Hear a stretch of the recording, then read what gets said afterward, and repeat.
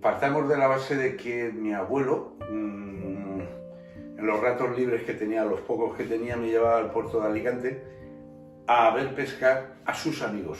Entonces, pues yo tendría cuatro, cinco años, seis máximo, no tendría más.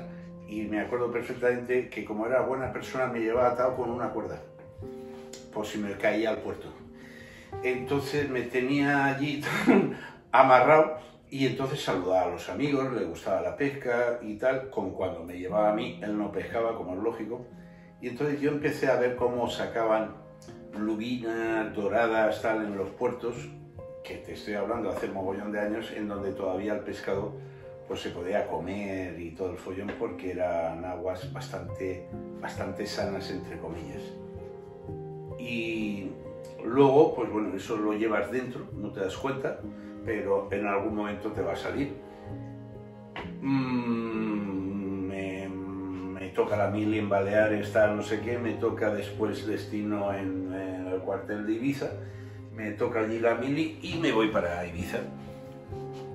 Mm, cierto es que cada vez que yo estaba haciendo algo, pues eh, yo soy de Alicante, con lo cual el mar lo tengo al lado, me toca Mallorca, el mar lo tengo al lado, me toca Ibiza, el mar lo tengo por todos los lados y siempre el mar me ha acompañado. ¿no? Entonces, sin darme cuenta, pues te vas metiendo en este tema de la pesca, tal, no sé qué, y pues después de la mili me, salió ese gusanillo de querer volver a retomar eso, pero por mi cuenta, y a intentar pescar algo. La cosa es que pues, la vida continúa tal, me caso, me divorcio, me vuelvo a casar, me divorcio tal, y por H por B, por mediación de un amigo, de precisamente de la mili, mmm, me dice que si me apetece apuntarme a una organización que él lleva ya tiempo mm, trabajando, se llama Médicos Sin Fronteras, que buscan logistas, yo no tengo nada que ver con el tema de la salud, pero buscan logistas que son los que preparan la logística toda para que el equipo sanitario pueda actuar y trabajar. Eh, este tema de, la ayuda humanitaria independientemente de todo lo que he vivido y demás, pues me ha ayudado a viajar muchísimo, mmm, en donde he tocado prácticamente todos los océanos, salvo el Índico, y en los mmm, ratos de ocio, de vacaciones que teníamos, que en algunos sitios era obligatoriamente obligado a tomarlos, porque, en fin, uno no se da cuenta y se mete tanto dentro del trabajo que al final no quiere ni vacaciones para el mismo. Entonces te obligaban cada tres meses a tomar mínimo una semana para poder ¡pop! desconectar y luego volver a retomar el trabajo que hacíamos, y más que era bastante duro. Eh, en esos momentos pues yo aprovechaba y he tenido ejemplos como puede ser Colombia, que es un país gigantesco, como dos o tres veces España y tal, y siempre todo el mundo me decía, coño, en el eje cafetero que está en el centro de Colombia es precioso y tal, y decía, pues me parece maravilloso el eje cafetero, los Andes, pero yo quiero el mar. Y entonces me iba siempre a las zonas costeras, tanto del Pacífico como de Caribe, y tanto en África como en Sudamérica, en fin, he viajado mucho y he tocado siempre el tema de la pesca, pues bueno, ha ido conmigo. En la primera misión que sí que estuve en Angola, creo recordar, Angola fue, sí, sí, y donde había, mmm, el país estaba en guerra, tal, no sé qué, por mediación de un compañero italiano de otra organización y tal, que me facilitó una caña, unos anzuelos, fui al mercado de la población esta que yo me acuerdo de la población cuando estaban los portugueses, se llama Mosamedes, que era prácticamente en el sur de Angola, en frontera con Namibia, en donde allí mmm, yo no he visto más pescado en mi vida, junto, o sea, cada vez que las olas hacían en la orilla en la, la vuelta, que otros cogerían una tabla de windsurf y se pondrían a surfear, pues yo veía todos los pescados de todos los colores, todos los tamaños, y entonces, pues bueno, pues cogí, me puse a pescar para sacar unos cuantos pescados para los cuatro amigachos de, las diferentes organizaciones que hicimos para, para pasar unos días allí, desconectar un poco de lo que era la guerra, que eran temas bien complicados y bien jodidos. Y bueno, pues ahí empecé un poquito a, a conectar bien y sobre todo, claro, cuando uno mm, tiraba con una lapa que era como mi mano y la troceé y me tiré toda una santa noche con la misma lapa, es decir, o sea, porque es un, es un material, o sea, un producto muy duro, y sacaba, me acuerdo perfectamente, sarros de, de, de 800, 700, 900, un kilo, y los veía y decía, joder, qué pequeño es este, y lo tiraba otra vez, porque había tantos y tan grandes que era increíble. Entonces, eh, bueno, pues eso fue poquito a poco esa conexión. Luego fui a, otros, a otras misiones, otras historias, y realmente hubo misiones que, pude, pude tener ese momento de relax y otras en donde no podía para nada. Y si tenía algún momento era para descansar y, y desconectar la cabeza y demás, cosa que siempre la pesca a mí me ha ayudado muchísimo porque para mí es una terapia enorme de, estar delante del mar. Mm, te piquen o no te piquen, pero el tema de estar en ese contacto con el mar, mmm, y como diría Serrat, si te toca llorar mejor frente al mar, perdón, que eso es maravilloso, ¿me entiendes? Porque el mar es una paz, salvo que no haya un temporal, como es lógico. y, me relaja muchísimo el tema este. Yo pescaba de una manera en, en, Alicante, en Baleares, lo que es el Mediterráneo. Cuando yo llegué a Canarias, o sea, para mí o sea, fue un cambio abismal. En, en Namibia, en Angola, en Namibia, yo los pescaba simplemente con un plomo a fondo y dos, dos anzuelos más arriba. O sea, un aparejo típico para este, para esta pesca. En esa, al ponerle choco o, sepia y al ponerle mmm, camarón, pues ahí lo mismo entraba el salvo que entraba la corvina, que entraba eh, el tiburón, que entraba las mantas, o sea, el chucho que le llaman aquí, que eran gigantescas y tenía que cortar porque o sea, se llevaba todo el hilo y me dejaba sin hilo en un lugar en donde no tenía de nada y reponer el hilo era muy complicado. Claro, cuando uno llega a un sitio nuevo, yo por lo menos soy partidario de lo primero es mm, observar. Mm, yo no soy el típico pesado que se pone al lado de uno con las manos en la espalda y le dice, ¿y qué tal? ¿Pican?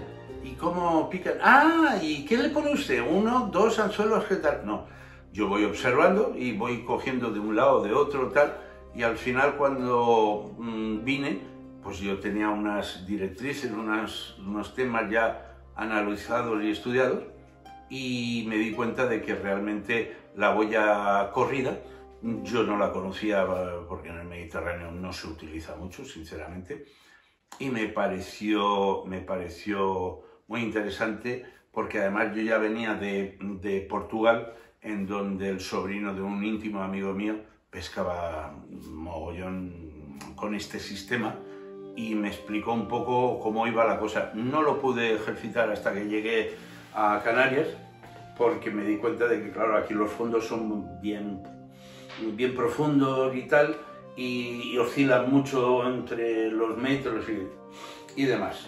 Entonces, eh, empecé... Eh, perdiendo muchas boyas, todo hay que decirlo, muchos aparejos, porque no sabía controlar o calcular lo que era la distancia entre la boya, que es la superficie, y el fondo. Entonces, claro, si tú te pasas, eso va arrastrando por el fondo, aquí hay mucha piedra suelta, enganchas y cuando tiras pierdes, la mayoría de las veces, pierdes el aparejo. Vale. Déjame que me ponga las gafas porque veo menos. Entonces, claro, cuando yo ponía este plomito que nada, le hago una hendidura en el que le pongo un poquito de corcho, que se lo pego y luego cierro el plomo, nada más es eso. Y aquí en la otra parte eh, hago con un alambre que tengo de acero inoxidable, hago unas vueltas, lo encajo y luego lo cierro con el tornillo de banco para que quede presionado y no se escape. Entonces cuando monto la caña, tal, no sé qué, tengo el anzuelo, le doy un par de vueltas aquí dentro de esto y ¡pop! enganchas el anzuelo aquí. este anzuelo es gigantesco, pero bien. Eh, haría este detallito, es decir, le das aquí previamente dos vueltas al anzuelo y luego lo puedes clavar aquí. ¿Por qué? Pues muy sencillo, porque es corcho y se agarra perfectamente.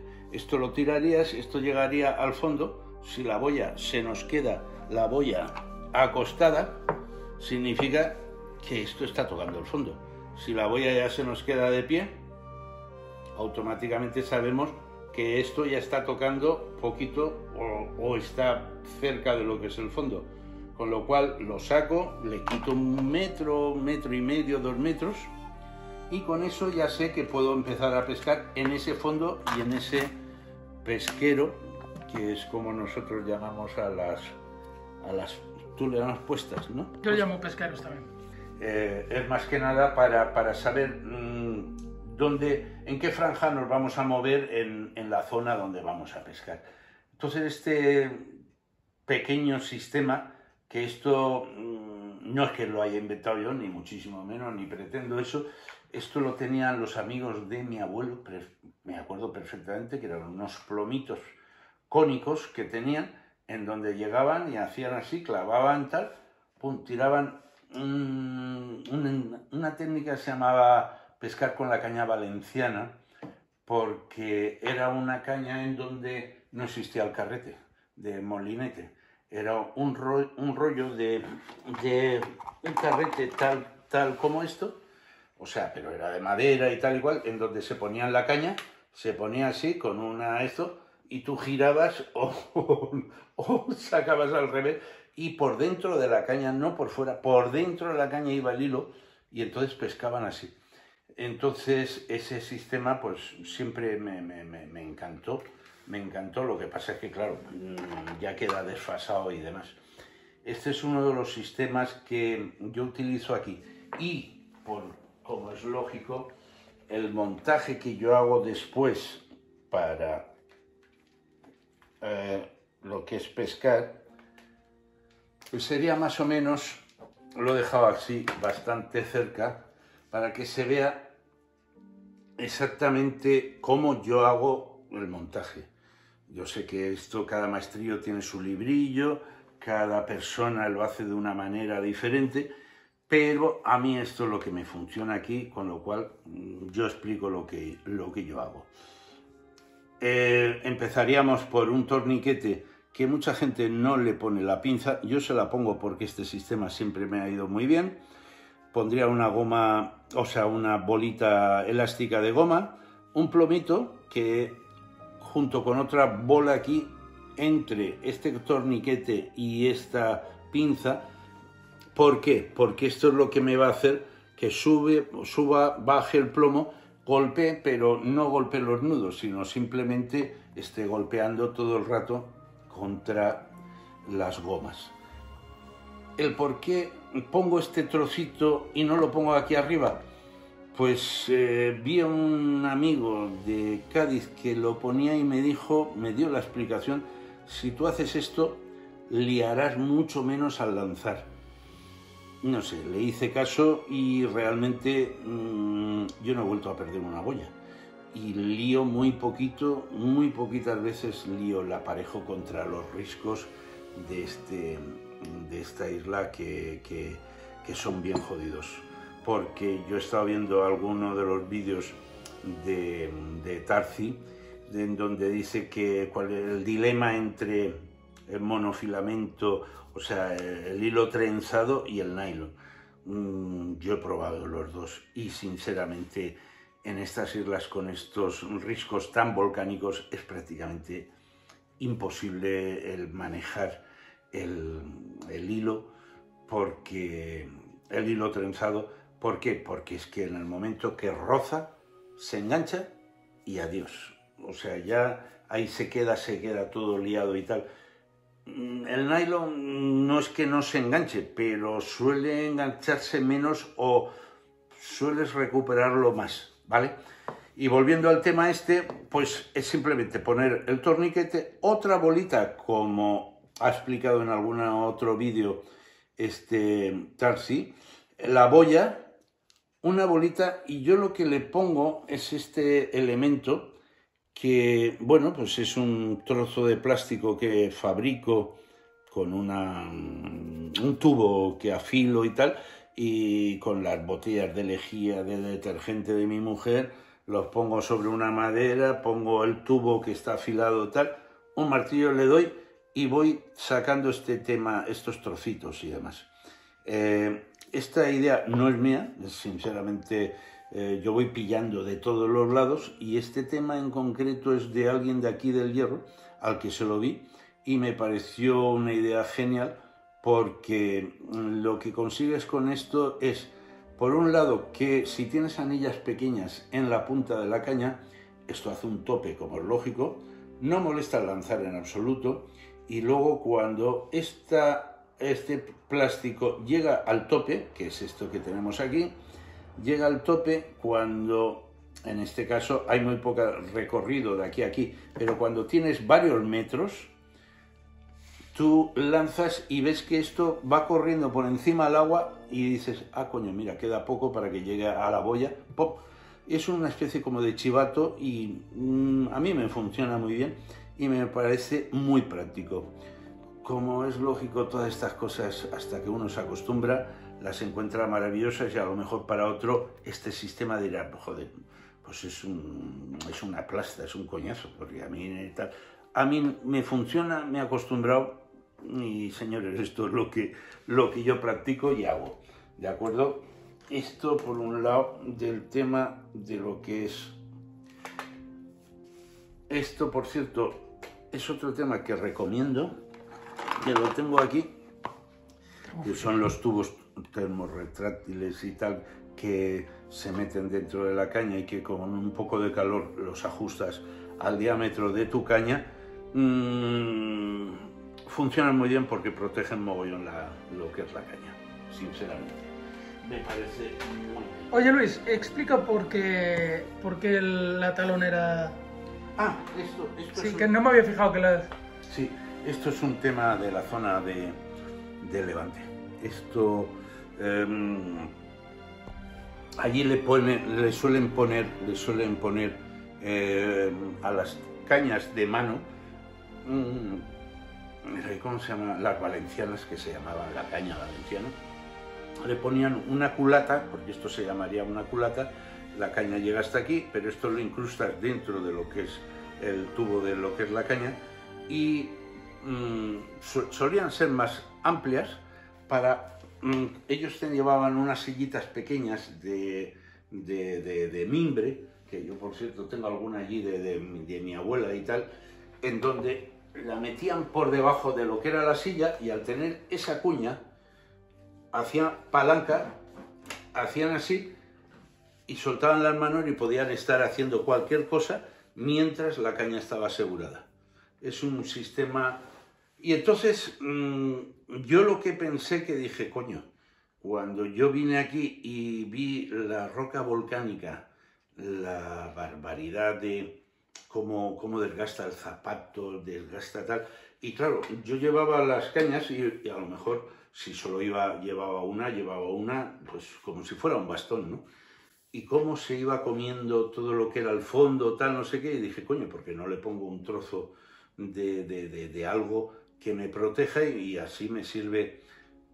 Bien, le puse esto que me protegía lo que era la parte baja y luego también hay una cosa muy importante para mi gusto y es que cuando yo voy a un pesquero, sobre todo de noche, que es cuando yo suelto las cañas y las dejo sueltas eh, solas, mm, en cualquier raja, en cualquier tal, tú puedes poner esto en, o sea, si la raja es así, tú puedes poner esto y esto hace un tope que mantiene la caña perfectamente en cualquier sitio, porque este tubo me entra aproximadamente hasta aquí, con lo cual me coge toda esta zona de lo que es el final de la caña y puede hacer presión perfectamente. Es un tema que, yo he utilizado siempre y, y, bueno, pues aquí mucha gente me dice, oye, ¿y para qué pones eso? Pero cuando ven realmente la efectividad que tiene a la hora de colocar y soltar la caña y que se quede sola incluso, claro, abriéndole el freno como es lógico un poco, que la caña, eh, si pica el pescado, pueda hacer su trabajo, pero sin, que se te vaya el agua, porque por desgracia en estas zonas eh, yo tengo alguna caña perdida, pero tengo más amigos que han perdido más cañas por la cantidad de, de pescados enormes que hay aquí. Y si tú te despistas un poco te quedas sin caña, sin carrete, y sin nada. Mm, yo empecé con las cañas. Eh, en, Alicante yo solía pescar con cañas bastante robustas, fuertes de, fibra, mm, porque pescábamos desde playa y mm, las poníamos clavadas con el portacañas en la arena y demás, de 5 o 6 metros, con la puntera un poquito arqueada y carretes muy grandes porque pescábamos con el sistema de la embarcación, es decir, una, una persona se metía en el agua, poníamos dos cañas, cogía las dos puntas de, de las cañas, que eran plomos bastante considerables de unos un cuarto de kilo, 250 gramos, 200 gramos y demás. Entonces, en donde poníamos dos o tres anzuelos, con lo cual no dejaba de ser un palangre, un palangre, pero cogido a una caña. Y mm, al ser la pesca en Alicante, Playa San Juan, en donde la progresión que uno tenía al andar era mm, a la altura del agua muy corta, pues claro, tenías que desplazarte mucho de la orilla para conseguir a lo mejor 3, 4 metros de profundidad, no más. Entonces con este sistema de la embarcación lo que conseguíamos era desplazarnos de lo que era la orilla hasta el lugar y soltar primero una, luego otra. Claro, estos carretes grandes eh, tenían, eh, no sé, 600, 800 mil metros de una línea fina, o sea, de un 40, un 45, y pues conseguíamos el tema, el tema ese. Eh, con, ese. Con esas cañas yo estaba acostumbrado, luego salté para balear, tal, claro, ese pedazo de caña yo no lo podía ya tener en la mano, porque pesan una barbaridad. Empecé a reducir los tamaños, los pesos, tal, y luego ya me metí con el tema este de la ayuda humanitaria y fue realmente muchos años en donde el equipo pues se quedó obsoleto y de hecho en las mudanzas, historias, rollos, algunos se perdieron eh, o los regalé. Y cuando llegué aquí pues me di cuenta de la importancia de lo que es tener una caña mm, que te aguante el brazo esa caña durante X horas. Porque claro, no, no es, uno piensa que llega a pescar y llega y dice, bueno, en una hora ya he pescado todo. No, hay que estar varias horas y entonces hay que tener la caña en la mano, la cual pesa, tal. Y entonces poco a poco he ido cogiendo una serie de, de cañas que son muy ligeras y una serie de carretes que eran muy ligeros, pero que para estos lugares, estos riscos con esta altura y tal, pues he perdido mucho pescado, sinceramente, y me estoy manejando, estoy diciendo y hablando de estos carretes tipo eh, un 4000, un 4500, 3000, que sí, son muy buenos cuando uno está bajo, a ras de agua, pero cuando estás en acantilado se queda corto para un pescado de 700 gramos para arriba, con lo cual no puedes y ya me cargué algún carrete pues intentando subirlo. Entonces ya mm, me empecé a pasar a carretes un poquito más potentes, de 6.000, 6.500, 7.000, que es el rango que yo estoy manejando más que nada, porque claro, tampoco quiero que sean muy pesados, porque con lo cual vuelvo otra vez a lo de anterior, ¿no? Que, que, la caña pesa mucho, el carrete pesa mucho y tengo que estar muchas horas con él en la mano, ¿no? Y el tipo de cañas, pues bueno, yo no conocía las cañas que habían aquí de, de la marca Berselli, que un amigo ya me las recomendó y demás, y luego, bueno, pues me enteré de que Berselli hacía aquí en las Islas Canarias una, una gama mm, que era la Hydra 7, que es una de las cañas que, de las muchas que tiene, y Hydra 7 significa de las siete Islas Canarias. Ahora ya eso queda desfasado porque la graciosa es la octava, con lo cual el 7 ese ya no casa bien, ¿no? El tema está en que mm, mm, yo he ido cogiendo este tipo de cañas y demás y estoy súper contento en el sentido de dureza, ligereza y bueno, pues eh, relación calidad-costo, pues eh, en fin, están muy bien y bueno, pues cañas hay mil en el mercado, a cual más buena, ¿no? Pero realmente están, me están dando un resultado muy, muy, muy bueno. Salvo una vez que pesqué alguna pieza así un poquito grande y quizá no la trabajé bien tal que partí una puntera, normalmente estas cañas aguantan una barbaridad, una barbaridad de peso y pueden subir siempre y cuando tú acompañes al pescado a la hora de subirlo. Si es muy grande, muy grande, pues tendremos que ir a morir al famoso gancho que se utiliza en, bueno, en, todos los, en toda España, ¿me entiendes? El gancho de recuperación de pescado. Porque intenté, intenté, de hecho me fabriqué alguna rabeca portuguesa, pero mm, mm, no he podido, no he podido coger el truco. Y entonces prefiero el gancho a la rabeca. A nivel de sargos, yo claro, es la ignorancia que uno tiene a veces de pensar de que mm, donde él vive o donde él se encuentra es el único sitio donde hay sapos o es el único sitio donde hay pescado. Y eso es un error enorme, porque yo que he viajado mucho, mm, me he podido dar cuenta de que hay muchísimas especies que se repiten en todos los países, pero perfectamente. Eso sí, lo que no coincide para nada, y sería interesantísimo hacer un libro, es el mismo pescado en los diferentes sitios con el diferente nombre que tiene, siendo el mismo pescado siempre. Entonces es muy, muy, muy interesante. El tema de, de dónde he visto o he cogido los salvos, ya he dicho que en, en, África, en la, la, la, zona esta de Angola, norte de Namibia, sur de Angola, tal, por una sencilla razón, porque por ahí baja la corriente famosa de Benguela, que tiene unos nutrientes escandalosos y, bueno, pues todo este tipo de pescados existen allí perfectamente, pero si los árboles eran grandes, las corvinas eran gigantescas. O sea, yo la primera que saqué en esa zona fue de 27 kilos y me quedé asombrado. Me tiré pero un montón de tiempo para sacarla porque no estoy acostumbrado a sacar bichos tan grandes pero claro, todo esto estoy hablando del año 96, 97.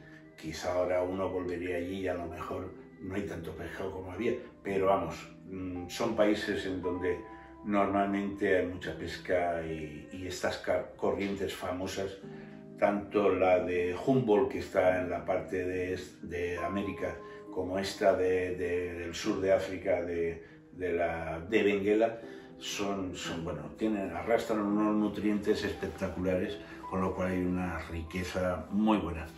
Eh, eso sería un poquito las zonas. Otras zonas que yo he probado y he intentado tal, eh, en Chile, eh, lo que pasa es que ahí ya el sargo no, no, aparecía, eran una serie de pescados más bien rojizos, que tampoco mm, podría definir como como un bocinegro, un, un pajel, un, par, un pargo, ¿me entiendes? De estos plateados rosados, que son los que abundan también en mogollón de sitios.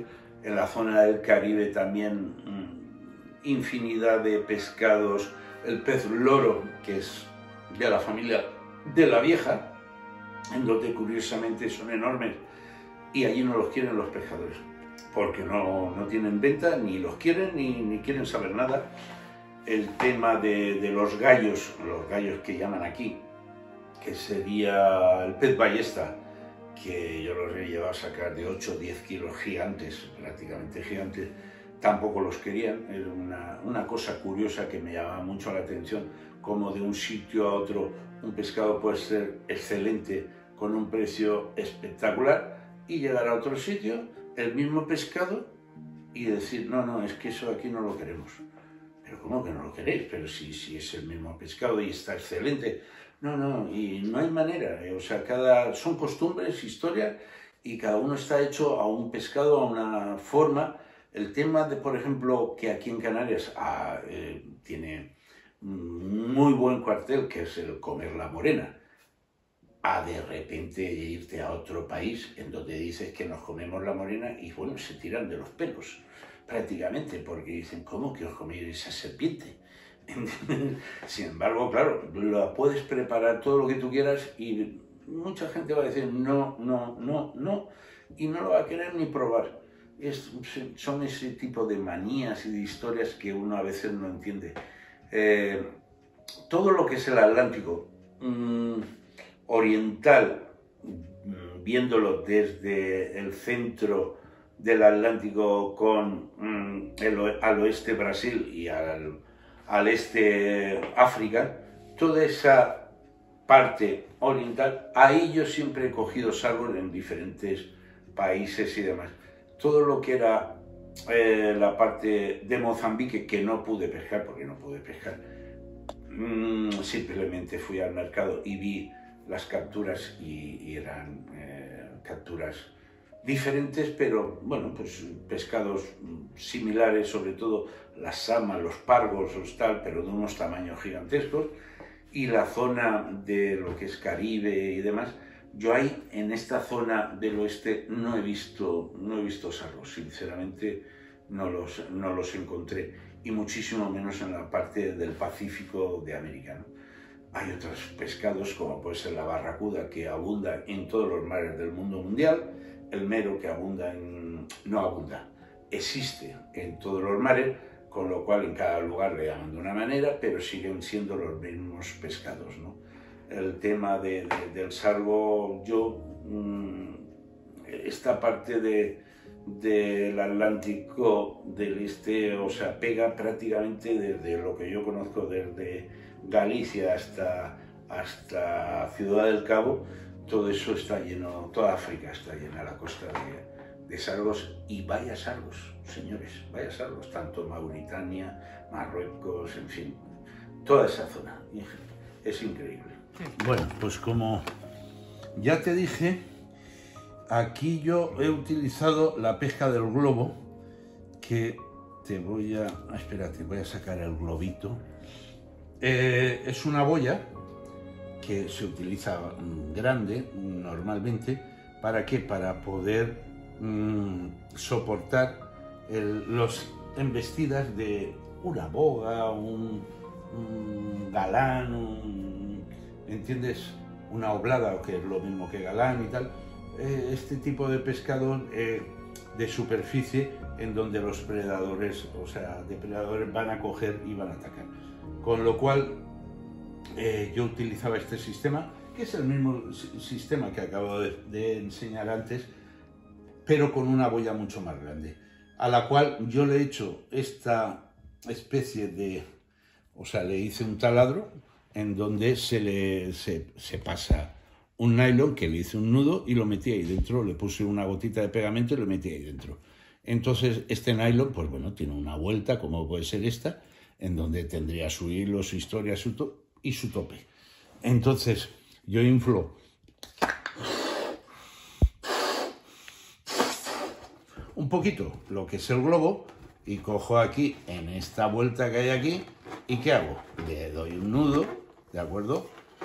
Y al hacerle el nudo, pues este globo ya se me queda en esta, en esta boya, cogido. ¿Para qué serviría esto? para la pesca con pescado vivo y que siempre que uno va a pescar y dice, joder, hay mucho viento hoy, pero si tú puedes conseguir que el viento te pegue en la espalda, en donde la zona donde tú estás pescando, al lanzar, tú lanzas, no mucho, porque con este globo no van a poder lanzar mucho atado aquí, pero al pegarte en la espalda, al caer al agua, el viento va a ir soplando, soplando, soplando, va a ir llevándose el cebo junto con la boya y el globo, y tú con la caña, el carrete abierto, vas soltando, soltando, soltando, soltando, y cuando crees que ya está a una altura eh, interesante, porque tú a este, a este tipo de montaje, tú le puedes dar los metros que tú quieras a la, a la boga, o a la boga o a la sardina, o lo que tengas vivo y demás, porque siempre ya digo, es para pescado vivo. Ahí lo frenas, lo pondrías en su lugar y esperarías el resultado. Ya verías tú que el, el, globo este se, se hunde. Yo lo, no lo hinchaba mucho porque si tú lo hinchas un poquito más, lo que es un globo, que sería esta envergadura, con el sol suelen explotar solos. Entonces era un coñazo y lo que hacía era inflarlos muchísimo menos, que hace la misma función, pero no, se, no explotan. Y este sistema es bastante interesante para la pesca de pescado vivo, y estoy hablando pues eso para pescadores tipo medregal, barracudas, mm, bonitos, eh, and company. Vamos a ver. Mira, pues voy a coger en principio este de aquí, este de aquí. Bueno, lo que te comentaba del nudo para el tope, ¿vale? Ahí está hecho. Déjame que voy a coger una navaja. Bueno, entonces, este es un viejo eh, hilo que yo tengo de un carrete que utilicé en su momento y tal igual, en donde, bueno, pues mira, cojo un trocillo y tal, que lo utilizo para esto. Yo utilizo un palito de chupachus, esto es un palito de los que yo tengo para las boyas que conseguí y demás. Entonces, esto es ni más ni menos que hacer este sistema, pongo para un lado una punta, la otra punta la pongo para este lado, es decir, vamos a hacerlo así mejor. Una punta y la otra se encuentran, cojo las dos, una punta y la otra. Las pongo sobre el palito, ¿de acuerdo? Una la tengo para acá y la otra la tengo para allá. Y es tan sencillo como hacer esto, pero la primera vuelta la pones, pero la segunda ya la montas en este sentido para acá, ¿de acuerdo? Entonces es 1, 2, 3, 4, 5, 6, las que tú quieras, tirar de este y se acabó el problema, ya está el nudo hecho. O sea, no tiene mayor secreto. Este es el nudo tal cual, ¿de acuerdo? Yo los voy poniendo aquí y voy haciendo ¿Qué tengo que hacer cuando tengo una línea? ¿Cómo la pongo? Pues muy sencillo. Cojo la línea, la meto dentro del tubito, tal que así, dentro del tubo, sale por aquí y lo único que tengo que hacer es tirar y ya está dentro. Una vez que lo tengo dentro, cojo una punta, cojo la otra y hago así. Hecho. Ya está hecho. Lógicamente esto tiene los excesos que tiene y a mí me gusta no cortarlo a ras por una sencilla razón, porque a veces eh, no mm, se destensan cuando has cogido un pescado un poquito más grande, tal, que toca con las anillas, lo que sea entonces, esto lo que me sirve es para tensar en todo momento el nudo para que vaya más frenado o menos frenado. Por eso dejo estos hilos que mm, pasan por las anillas perfectamente, sin ningún problema, pero nos sirve para poder tensar en un momento dado cuando se moja con el agua del mar. ¿De acuerdo? Ah, mira, esto es una cosa curiosa porque me, me lo regaló un amigo esto es un plomo que no sé dónde lo sacó, pero simplemente me regaló como tres o cuatro. Espérate que estoy intentando sacarlo. Ok, vale, perfecto. Esto es para pescar a fondo, ¿de acuerdo? En donde este plomo, que tiene una manguera, un trozo de manguera, con un agujero a la parte inferior y otra aquí en la parte superior. ¿Yo qué hago? Eh, engancho el plomo, o sea, el nylon, que va a ir a la caña, lo engancho aquí, a la parte inferior. Pero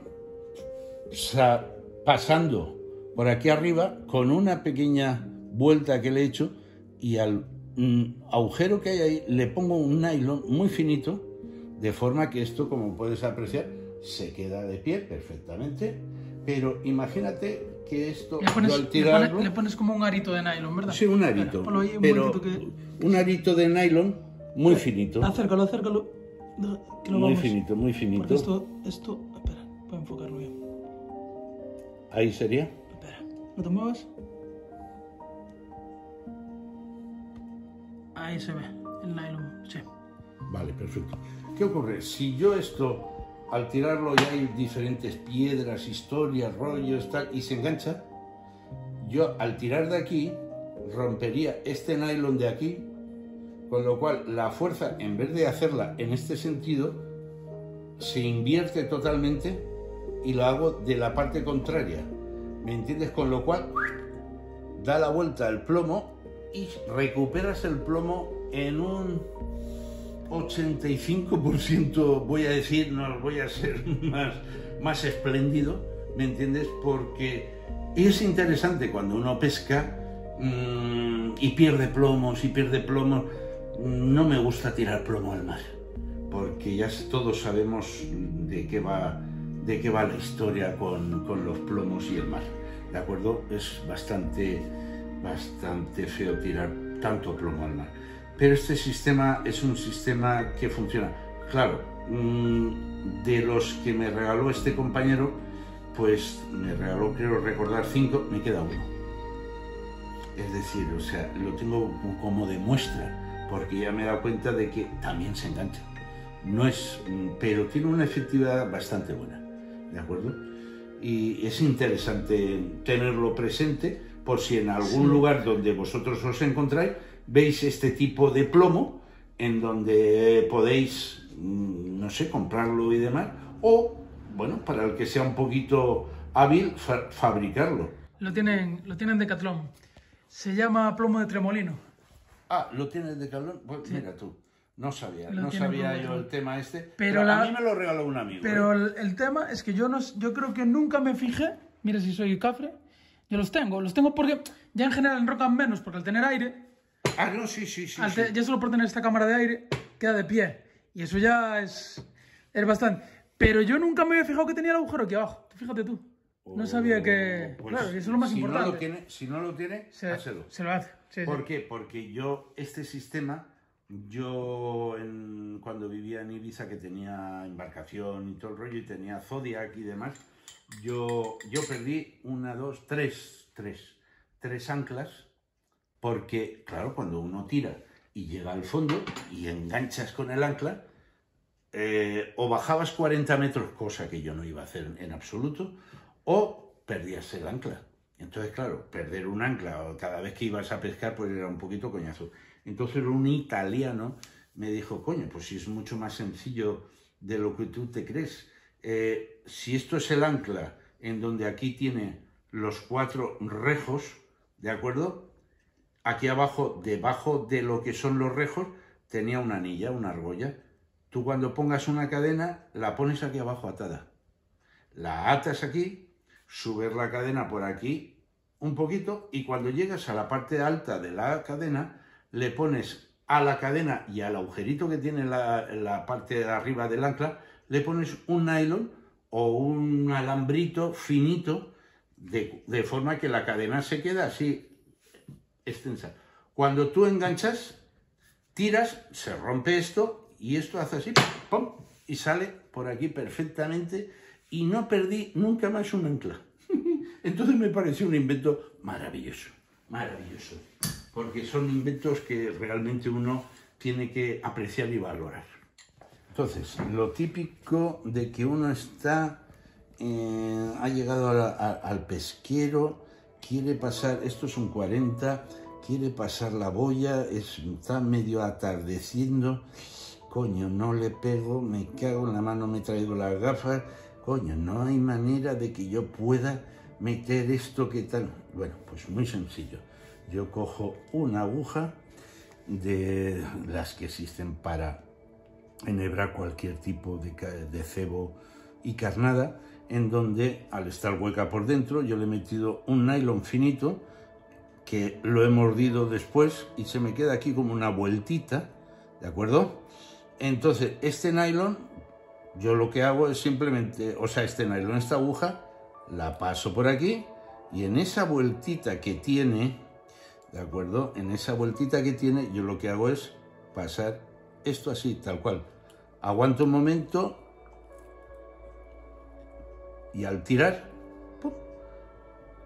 más fácil no puede ser. Y es una, una tontería, pero que funciona muy bien y a mí me ha solucionado muchos problemas de noche. no sabía cómo tal. Y, bueno, me hice este, este artilugio que funciona muy bien para mi gusto. Eh, yo, yo ya no solo por ver mal, sino que muchas veces eh, las, las, boyas a correr que llevan tubos por dentro, no, pero las boyas tradicionales se quedan muchísimas veces enganchados dentro del hilo y no pasa. ¿Verdad que no? Y para eso... Y a mí me pasaba eso. Yo digo, pero chico, ¿cómo no puede pasar? Y claro, no es lo mismo el hilo que está que más rígido, hacer así lo pasas. Y es una tontería, pero es una tontería muy práctica, de verdad. Y tengo aquí otra cosa que ya te lo comenté, que era el tema de... Yo utilizo... Mmm, en esta zona de Canarias existe muchísimo pescado mmm, tipo piraña, como le llamo yo, que sería el tema de la chopa, el, tema de, la dorada que le llaman en el hierro, la salema, que la conoce todo el mundo en todos los lados y demás, que tiene unos dientes hiper afilados eh, que cortan el nylon como si fuera mantequilla. Entonces, eh, después de perder muchos pescados, se me ocurrió la idea de... El gallo. El gallo, por ejemplo, es otro que también cortaría perfectamente. Se me ocurrió la idea de intentar mmm, ponerle un algo al nylon para poder, mmm, poder sacar el pescado sin que cortara lo que era la, la, la, la línea, ¿no? Entonces se me ocurrió poner un trozo de hilo en el fluorocarbono. Entonces es simplemente hacer un empalme de un tipo de, de nylon, o sea, de hilo con el, el, nylon y empalmarlo de forma que, que, bueno, pues esto yo lo, bueno, yo lo he probado y esto, esto no hay quien lo, lo, lo, parta. Antes se parte el nylon que el nudo ese. Entonces no es fácil, eh, no es fácil en, en principio, es el famoso nudo del pescador, que es súper sencillo y todo el mundo conoce y demás.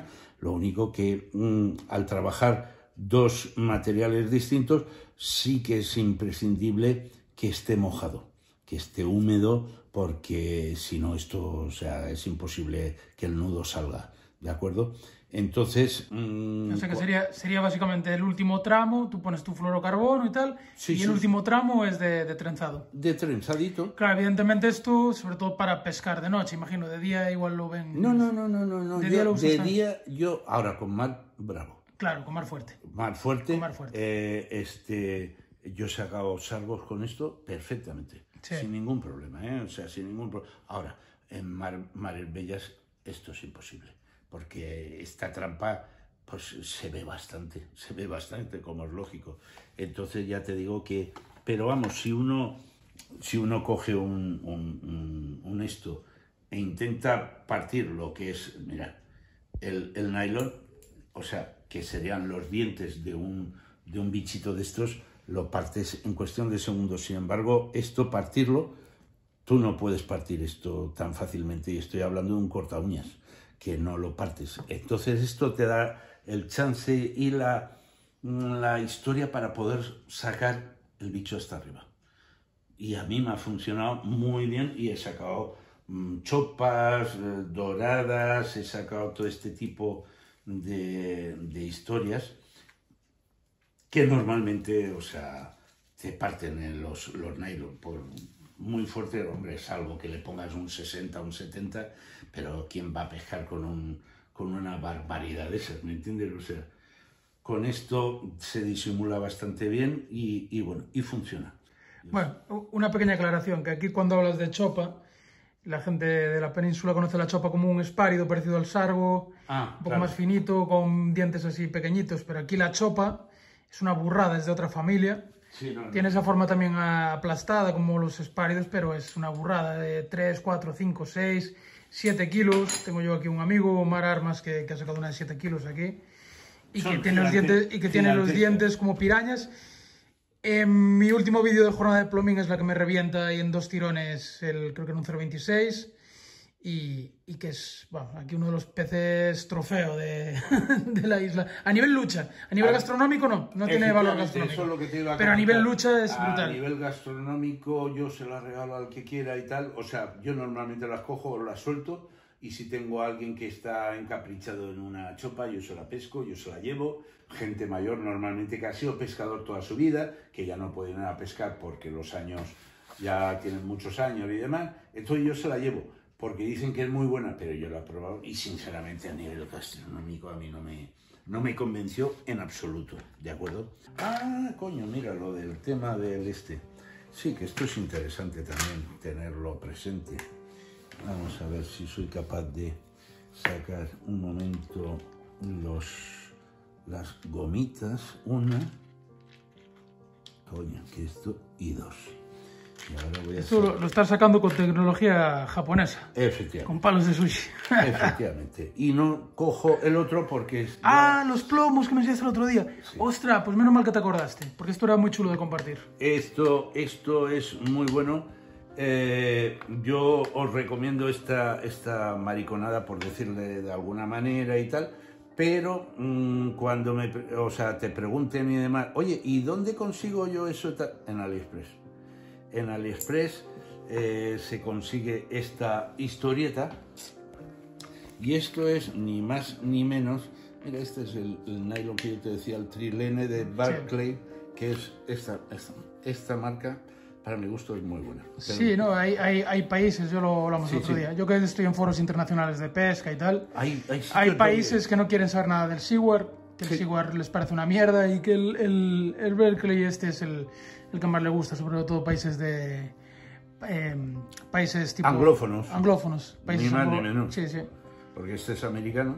Mira, bueno, bien, vamos a poner esto, no, lo voy a poner justo así, vale. He- hemos pasado uno, ¿de acuerdo? Que esto es como un cono, ¿ok?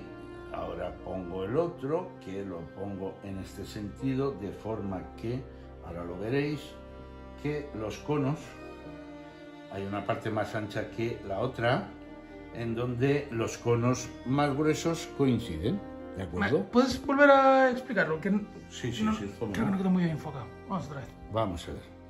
Bueno, pues tenemos. Esto es para. ¿Para qué se utilizaría este tema?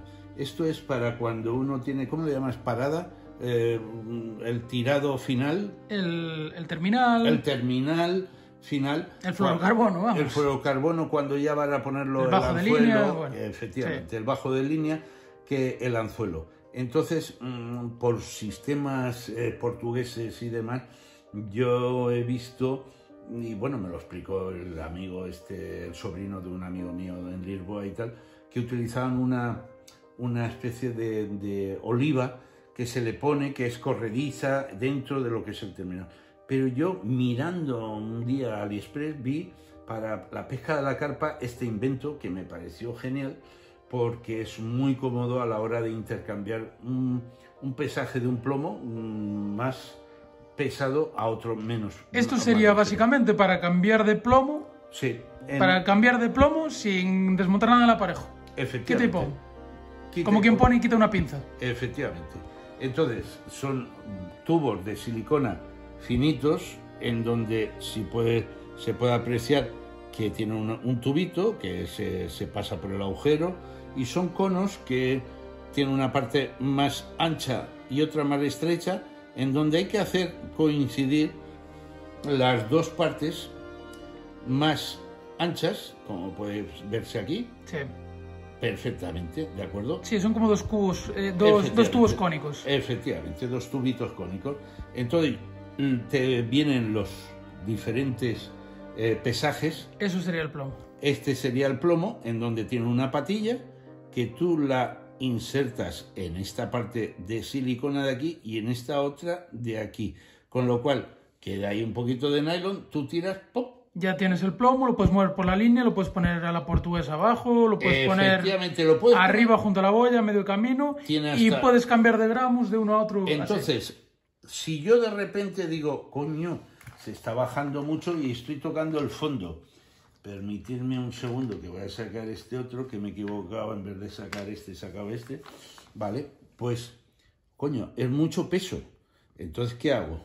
saco uno de los tubitos de silicona, el otro, cojo el plomo más pequeño, hago así, lo pongo por un lado, lo pongo por el otro, tenso. Y ya has cambiado de plomo en dos segundos. En dos segundos he cambiado el plomo sin ningún problema. Increíble. Una pasada. Increíble. Me parece un invento cojonudo. Luis, pero esto tú me enseñaste que los fabricas tú también, que creo que sería muy interesante. Ah, bueno, bien, sí, ¿por qué? Porque, esto para, he, perdido, he, perdido, he perdido ya varios, entonces llegó un momento que dije, coño, pues voy a tener que, que, a este ritmo los voy a perder todos, y por no estar pidiendo cada dos por tres eh, los plomitos a AliExpress y todo el rollo y tal, que sabemos todos que tardan últimamente más que nunca, pues me fabriqué estos plomitos que me los hago yo ¿me entiendes? Que es un plomo simplemente con un hilo de acero que yo tengo, que los meto dentro y luego los presiono en un tornillo de estos de banco, los presiono y bueno, pues quedan así y yo lo que hago única y exclusivamente es meter un extremo y el otro exactamente igual y queda el mismo. Lo mismo, lo mismo. Eh, y claro, esto me lo fabrico yo, con lo cual tengo de todos los tamaños, todos los... ¿Me entiendes? Fíjate tú que hasta a, nivel pijerío mío, hasta me gustan más los que te haces tú, porque son más color mate, plomo color mate. Los otros brillan demasiado. Eh, Imagino que con el tiempo perderán el brillo y tal, pero... Sí, pierden, pierden. Pero me gusta más. Ese rollo rústico de, los que haces tú me, me convence más. Este, este es súper sencillo de hacer y sobre todo súper sencillo de cambiar. Esto es una maravilla, pero una maravilla. Sí, A mi gusto, ¿eh? Increíble. Y luego las bolitas estas, los, los esto de silicona, pues bueno, pues eh, cada vez que vais a cambiar el terminal, la parada, el tal, pues coges, sacas los dos de esto de silicona y lo tienes para el siguiente. Ni más, ni menos, ni menos, ni más. Y por último, lo único que quería comentar era el tema de ¿cómo se llama? Del palito, que, bueno, esto es un, un tema que tiene un poco de historia. ¿Para desanzuelar? Para desanzular los pescados. Vale, eso, ya, lo, ya lo explica Yago, que se lo enseñaste tú, pero lo voy a explicar tú también. Lo explica Yago en el... Porque justo lo grabé el otro día desanzulando un alfonsiño, el día que fuimos juntos a... Ya, pero Yago no sabe el origen. En el vídeo anterior visteis a, a Yago desanzulando un alfonsiño con un palo de estos, de, con un palito de, del sushi, con un palito de comer y os va a explicar Luis, que es quien se lo enseñó a Yao, cuál es el origen. El origen del palito famoso, que yo de un tiempo a esta parte estoy utilizando lo de los chinos para, para comer y demás, eh, es, no es otro que mm, el padre de un amigo, de una amiga eh, muy queridos de Ibiza, que mm, su padre era pescador profesional, entonces, en alguna ocasión que coincidíamos en el sur de la isla, en la, en la cala de Esvedra y demás, pues mm, a veces me decía, coño, Luis, ¿tienes algo que hacer? Pues un fin de semana y tal. No, te vienes conmigo a, sacar un palangre. Digo, bueno, pues venga, yo te acompaño y tal y cual, porque a lo mejor el hijo no podía acompañarle o lo que fuera. Yo me iba a veces con él entonces tenía la típica embarcación de Baleares, que es un yacht, que es una embarcación de madera, mm, muy rústica, muy, muy pesada, muy tal, pero era con lo que toda la vida habían pescado allí. ¿no? Entonces cuando yo me subí por primera vez a esa embarcación, yo veía por todo lo que era la cubierta de la embarcación del yacht este, que este es, o sea, toda la, embarcación está cerrada, con la parte trasera con un pequeño motor a, a gasoil mmm, con una apertura y tal y cual, en donde tiene otro cuadradito más atrás el, el, el que lleva el barco, en donde se mete los pies y se sienta, ¿no? Y toda la, la superficie está cerrada. Adelante hay otros agujeros donde puede ir otras personas, pero siempre te sientas y alrededor cerrado. Y está todo la cubierta llena de palos, pero no de estos, como es lógico, de sabina, eh, árbol que abunda en el sur de Baleares y demás, y eran ramitas de sabina, lo más rectas posible, y había pues como 8 o 10 palitos de estos, y yo me quedé así sorprendido mirando diciendo, pero, pero, pero, pero ¿qué tanto palito? Y además del mismo tamaño, casi todos no lo entendía, no, no, no, me podía entrar en la cabeza para qué era. Entonces, claro, cuando llegamos al sitio donde tenía la boya, recuperamos tal y empezamos a sacar el palangre, eh, íbamos sacando y yo le decía, mira, dicen, aquí viene, un, un pescado y tal, y normalmente eran pagres, pargos, o sea, de un tamañito, un kilo, dos kilos, tal, aproximadamente, entonces venían con, había estado toda la noche el palangre pescando, eh, venía con el anzuelo tragado hasta el fondo, él lo ponía así en vertical y colgando sin tocar el suelo, metía el palito por la boca abierta, hacía así y automáticamente caía dentro del cubo el pescado y el anzuelo se quedaba enrollado en el palito. Yo cuando vi ese dije, esto, esto es magia, esto no puede ser. Y entonces, claro, cuando ya vi el segundo, vi el tercero y vi la facilidad con lo que lo hacía y, bueno, decir, pero, pero esto es maravilloso, hombre, esto no tiene, no tiene parangones en la, en la historia. Y me gustó muchísimo el invento y desde entonces a todo el que veo procuro decírselo porque es una chorrada, pero es una chorrada que funciona. Y es, es graciosa, salvo que no pongas eh, no sirve, por ejemplo, para líneas muy finas porque en el momento que haces tú ese, ese, esa, ese movimiento y esa mmm, fricción que hace el nylon sobre la boca, los dientes y tal del pescado, normalmente se parte si es una línea muy fina. Lo que pasa es que, claro, al viajar tanto por, por esos países, eh, superan con creces totalmente las anécdotas que haya podido tener tanto aquí en Canarias como en la península, ¿no? Eh, por, cómo eran las piezas y demás. Una de las cosas que me llamó muchísimo la atención, independientemente de la cantidad de capturas que salían, que era una cosa descomunal, es que ahí en, en Angola, eh, cuando yo fui, y el italiano este me dejó la caña, unos anzuelos y unos plomitos y un tal. Y yo dije, coño, pues necesito un poco de cebo. Me fui a un mercado que había ahí, pues bueno, en medio del puerto, y compré un choco que, bueno, pues, yo soy de Levante en donde mmm, normalmente se come muchísimo choco. Y yo he visto el choco más grande, pues a lo mejor, pues 800, un kilo es una barbaridad de choco, pero cuando llegas a esos sitios y ves un choco que pesa 4 kilos, o sea, yo me quedé flipado de como la, envergadura que tenían, ¿no?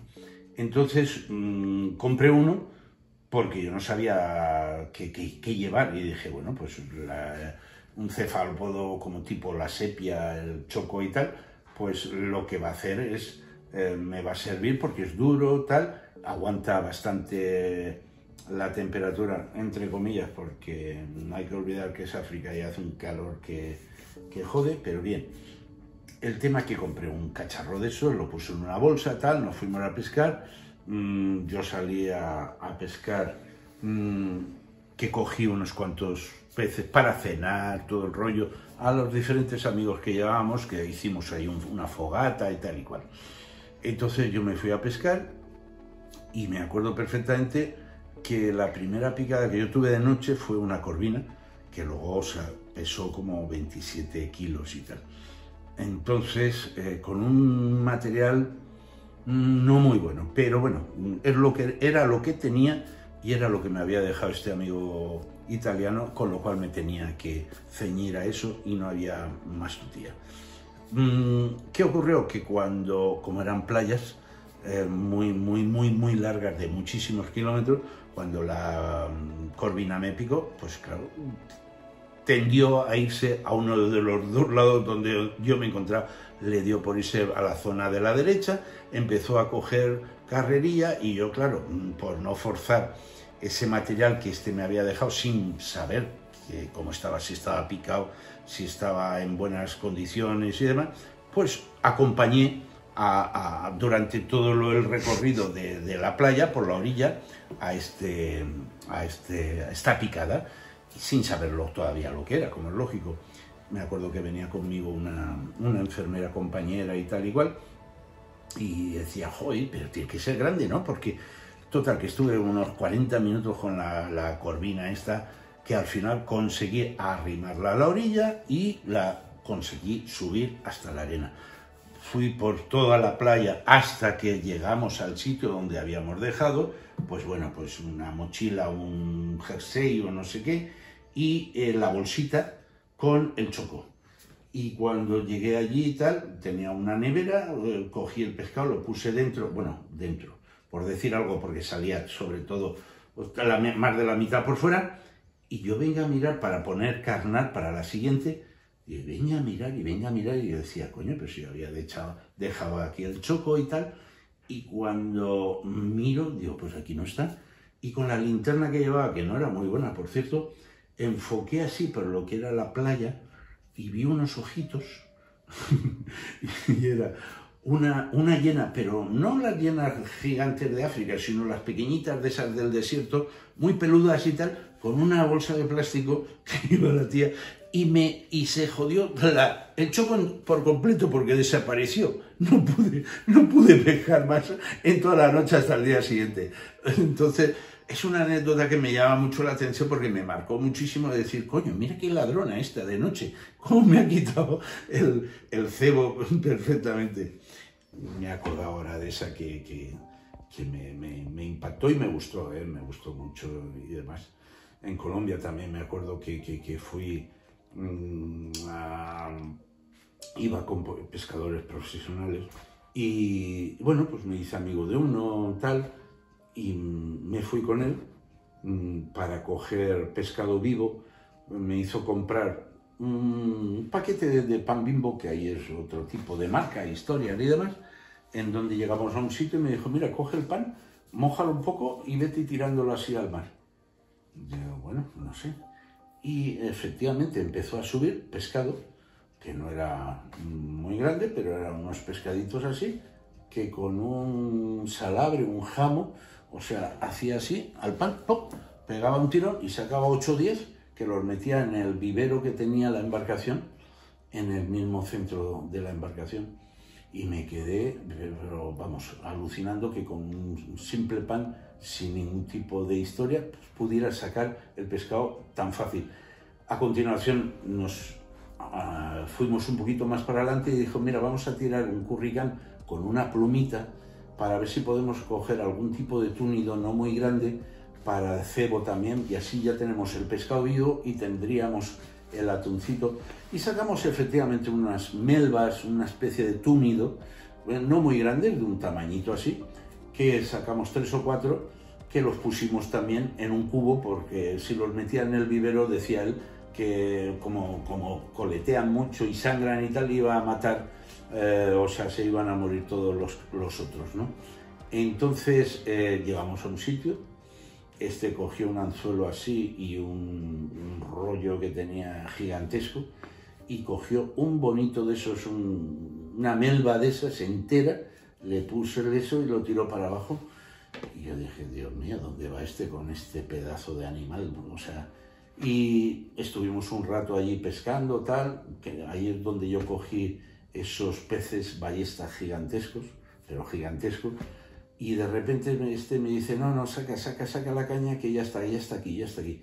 Total, que sacamos, o sea, yo saqué las cañas, y este empezó a tirar y tal, yo lo veía un tío súper fuerte, súper joven, muy fuerte y con unas manos que, bueno, parecían alicates más que manos y lo veía como sufría y tal y cual. Y cuando a mitad de agua, más o menos, porque estábamos pescando alrededor de 60 metros, una, costa, una cosa así, me pasó el, el hilo en donde yo cogí y pegó dos cabezazos, bueno, con guantes y me hizo un daño terrible.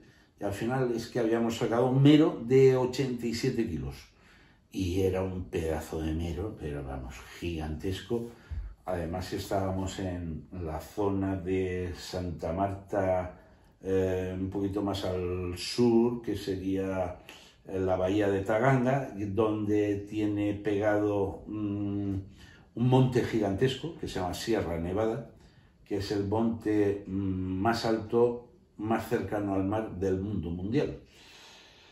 Entonces me impactó muchísimo esa captura porque dije, Dios mío, qué barbaridad, qué barbaridad, qué peces hay por el mundo. Pero muy interesante, muy interesante.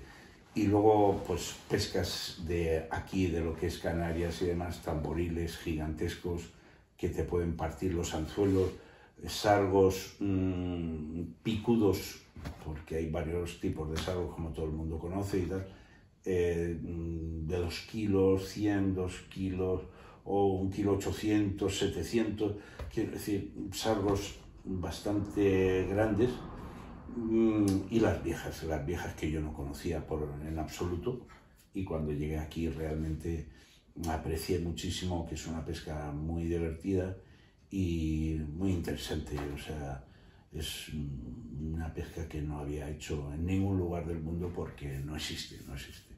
Solo en, esta zona donde, donde se suele hacer y demás. Relajación, paz, tranquilidad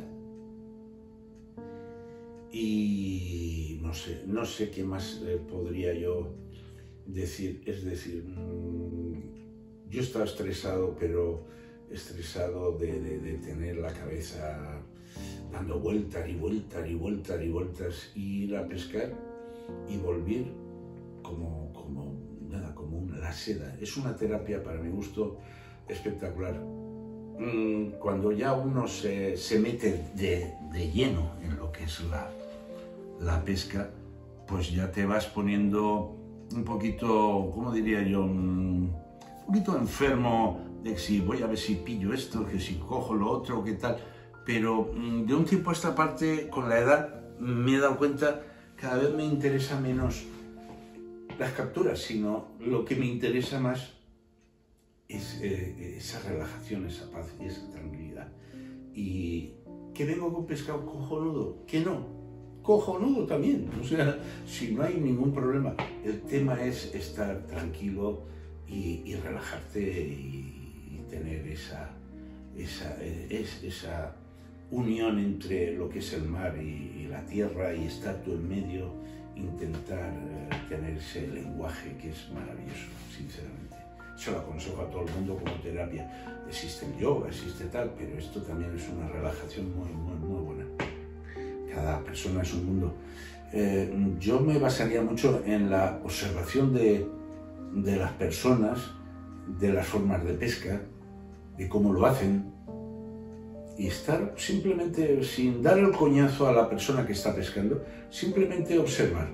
De hecho, hay una frase que a mí me ha marcado mucho en la vida y es que dice que el mayor aprendizaje de todas las artes es aprender a ver si uno consigue aprender a ver las cosas, mm, con eso ya tienes mucho. O sea, eh, ¿por qué? Porque vas a darte cuenta de cómo hace el, aparejo, cómo lo hace, cómo lo maneja, cómo tira, cómo tal. No quieras el primer día ya hacer lo mismo que este señor está haciendo, que a lo mejor tiene 40, 50, 60 años, los que sean, y le ha costado un tiempo. Eso no es que uno haga así y ya tengo la sapiencia de la pesca, no. Eso va con los años y es fundamental mmm, saber observar. Y otra cosa que para mi gusto, sobre todo desde que vivo en Canarias y más en concreto en esta isla, es aprender a saber leer el mar, porque el mar aquí en esta zona es muy peligroso y necesitamos saber leerlo. Eh, lo digo para no acercarnos en demasía a lo que es eh, las zonas complicadas, eh, pero también nos va a servir esa lectura que vamos a hacer de decir, bueno, voy a pescar mañana, te levantas, miras el mar y dices, está viniendo el viento de este lado, pues coño, me voy a ir a tal pesquero porque me va a pegar en la espalda y me va a dejar lanzar, porque me ayuda con el viento a lanzar mejor. Y saber esa lectura, eso es muy interesante, muy bueno, porque nos va a ayudar muchísimo en la definición de, las capturas y sobre todo de los pesqueros, de decir, coño, aquí me encuentro a gusto con esta intensidad de viento o con este tipo de mar y demás. Eso me parece muy importante y vuelvo a repetir, te lo dará la experiencia y los años de la observación. Ese es mi punto de vista.